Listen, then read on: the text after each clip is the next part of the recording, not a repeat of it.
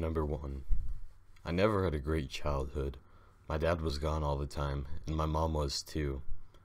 When she was home, it was normally verbal and physical abuse. I always needed a way to escape it, and whether it was playing video games, watching movies, or even drinking. One day I was invited over to a friend's house for a sleepover. When I got there, he immediately told me he had something to show me. We went upstairs and he showed me his laptop. He said that he'd got onto the deep web. We stayed up till late at night, browsing all the interesting things on it. He then showed me how to use it. I took some notes. The next day I decided to try it out for myself. I downloaded the software and was good to go. When on the deep web, there's a page full of links in order to go to the sites. You keep clipping on, clicking on the new links that pop up. At first it was very boring, tons of dead websites or disgusting ones filled with videos of real people getting killed. Eventually, I found a forum, I can't remember what it was about, but I asked how to get anything that was interesting but not illegal. One guy sent me a link and said it was a site that contained leaked government documents. I thought that was interesting, so I clicked on it. When I pulled it up, a bunch of videos of people getting tortured, murdered in the most horrible ways popped up. I have a pretty strong stomach, so I was ready to ignore it and just exit out. But I realized all the videos were playing at once. When I moved the mouse over one, there was no bar that let you pause it. That's when it hit me. All these videos were thousands of li live streams. I clicked on one that said, Homeless man kidnapped in my basement. In it, a man was tied to a chair. To his left was a table, and on it a whole bunch of tools like axes, knives, drills, hammers. And there was a hooded man standing by it.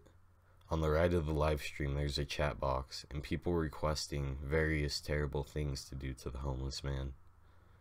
Eventually, one man in the chat box said that he would pay several bitcoins for the hooded man to gouge out the homeless man's eyes.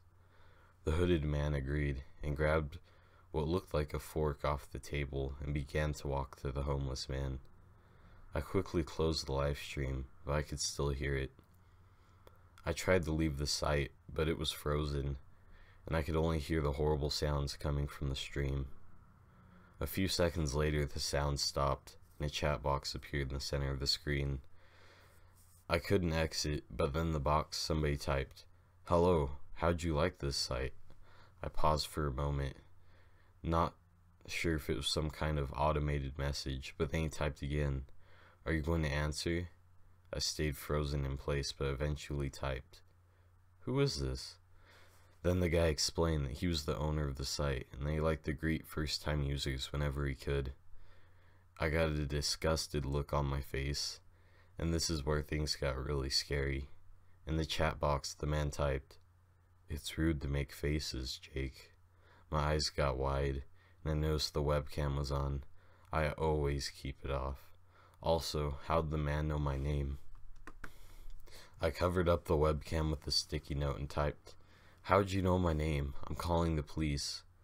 There was a brief pause, then horrifyingly, a whole bunch of data was posted in the box. I looked at it as I realized that it was everything about me. My full name, email address, age, it even had all of my parents' information as well. I panicked and shut off my computer and hoped that would be the end of that. I didn't want to go. I did a complete wipe of all my computer's data and went to get a drink. I was under a lot of stress. That night, my mom said she wouldn't be home. She said she didn't say where she was, but at this point in my life, I didn't care. My dad, of course, was nowhere to be seen. I couldn't sleep, so I stayed up watching a movie and I fell asleep on the couch. I don't know why, but at about 2:30 in the morning I woke up. The TV was still off and a dim light was shining from it. But when I opened my eyes a little more, I almost screamed. There was a man standing just a few feet away from me with a mask on. I flew off the couch and darted to the door. I heard the heavy footsteps coming after me. I flung open the door and ran outside screaming as loud as I could, trying to get somebody's attention. I looked behind me and saw the man. He was running, and he was faster than me. I screamed louder and noticed I had tears running down my face. Then a bag got wrapped around my head, and I was pushed to the ground with a lot of force. So much force that I felt blood in my mouth. I heard a car speed up beside me, and I was being dragged to the sound of it. They were taking me away, and I was probably going beyond that sight. I had almost accepted my death when the man with the mask screamed in pain and dropped me. I pulled the bag off my head and saw the van speed away, and I saw my neighbor hitting the masked man with a baseball bat. The police had arrived. They took the masked man in, and it eventually caught the van, and then they shut down the site. My mom and I moved out, and I'll never ever go on the deep web again and I encourage others to never go on it either. This story happened to my friend on the deep web.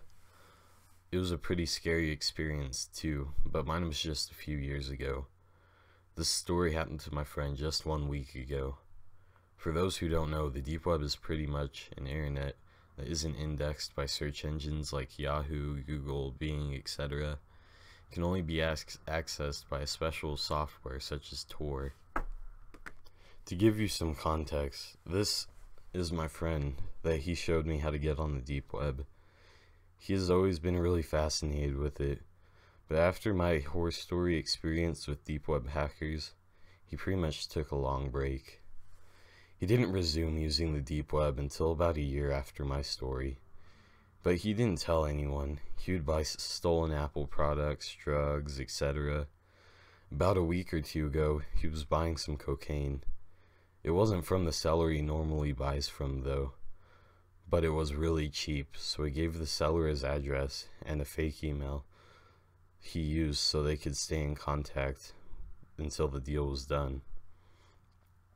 He wasn't too worried, this guy seemed professional, and it was the same procedure for most of his purchases.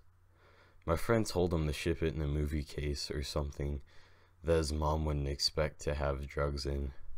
This was probably his biggest mistake. He let the man know he was just a teenager, but my friend isn't the most careful of people. A few days later, his mom walks in the house and hands my friend a movie that he ordered online. He took it and opened it up, but inside there wasn't any cocaine, just a folded up piece of paper. He opened it and it read, There has been a problem. Email me for details. At the bottom, the, the man had left a new email for his friend to contact. My friend got his email and asked the guy what the problem was. He responded, Something has happened, and if I were to send it to you, it would be traced back to me, and we would both be caught. Meet me at the elementary school at 7. We'll do it in person. The school wasn't too far away, so my friend told my mom he was staying the night at my house and he headed off to meet the man. He called me and asked if I could be there with him, but I was really busy with my schoolwork, so I said I couldn't. I did tell him to take a knife or something, though, just in case things did go wrong. When he got in the car in the parking lot outside, he heard a car honking its horn. He saw a Jeep, but the plate had been covered up by duct tape, and the windows were tinted very dark. The man got out of his car and gave my friend the drugs, and my friend paid him. seemed like everything went fine. My friend got in his car and sat there for a little bit in, in order to call and tell me everything went fine. He noticed when he hung up the man was still there, though. Why was he waiting? He didn't think too much of it and drove off. When he got to the first red light, he noticed that the man's car was right behind him. He was starting to get a little nervous, but kept on driving. When he reached his neighborhood, the man was still following him, so he decided it'd be a bad idea to lead him to his house. He instead turned into the next neighborhood and took a whole bunch of random turns, hoping to lose the man.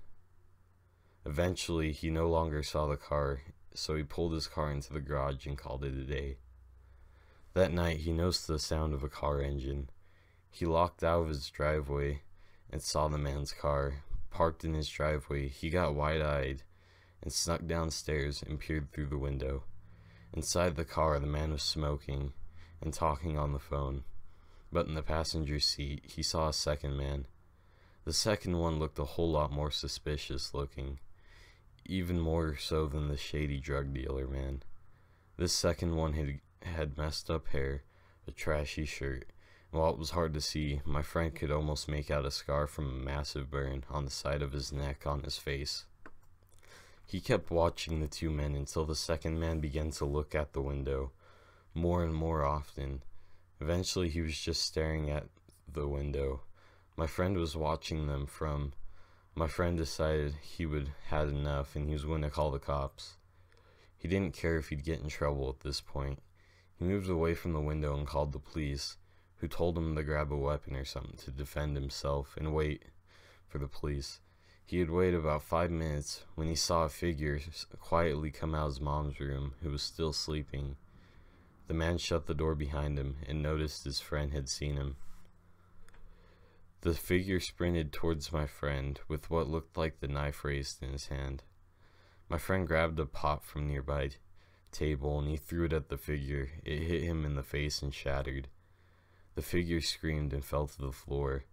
My friend turned on the lights and saw the second man, with the burn, rolling on the floor. His face was covered in blood and shards of glass were sticking out. His right eye had tons of blood pouring out. He must have been hit pretty hard as the man began to slowly get up. My friend grabbed a kitchen knife and drove it into the man's shoulder. Another scream could be heard from the man. The man began to stumble over to the front door, where police sirens could be heard. Both men were caught on sight, but my friend's mom had been killed. Her throat had been slit and she had 23 stab wounds and duct tape covering her mouth. My friend was arrested too for drug possession. His trial was coming up, but he lost his mom because of it, so I don't think he'll ever buy drugs from the deep web again.